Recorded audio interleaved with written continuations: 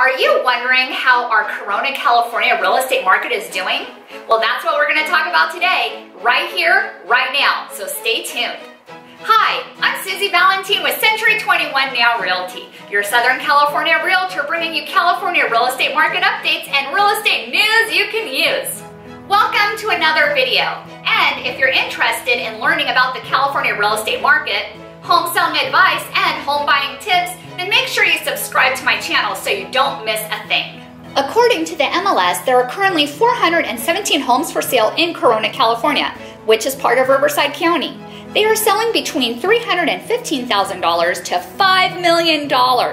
Out of those homes listed on the MLS, there are 60 houses for sale in Corona, California that may qualify for FHA loans, a first time buyer program from the Federal Housing Administration helping buyers purchase a home in Riverside County under $446,894 with only 3.5% down payment. In Corona, California, there are 253 homes in escrow, either in pending status or are accepting backup offers. There are 12 homes for rent in Corona, California, and they are leasing between $2,100 to $8,500. Last month, in February 2019, there were 133 homes sold in Corona, California. They ranged in price from $225,000 to $1,430,000. In this slide, you will see the number of houses sold in Corona, California between January 2015 to December 2018. We see the Corona housing market continue to grow. This graph represents the average days it takes to sell a home in Corona, California between January 2015 to December 2018. As you notice, homes are selling quicker, especially in 2017 and 18. In my opinion, it's because there are less houses with notice of defaults, therefore they are selling faster. Now, let's dive into this diagram, which shows the average sales price on homes sold in Corona, California between January 2015 to December 2018. The Corona, California real estate market kept climbing and looks healthy. This chart showcases the average single family home sale prices in Corona, California from January 2019 till February 2019. Still too early to tell where the market is headed this year. Make sure you subscribe to my channel to see if the Corona, California real estate housing market remains consistent and steady. I'm curious, how do you think the real estate market is headed?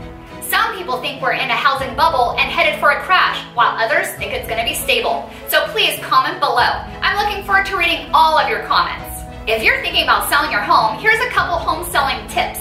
Start clearing things out of your home. You're gonna be selling it anyways, and less is more in the buyer's mind. Now, you could go ahead and rent a storage unit, but if you don't wanna have that expense, just go ahead and put the things in the garage. Trust me, buyers do not care. Better a messy garage than a messy house.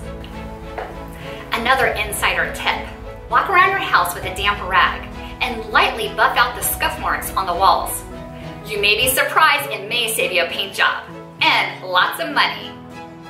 If you're thinking about buying a home, the next step would be to talk to a lender that you trust.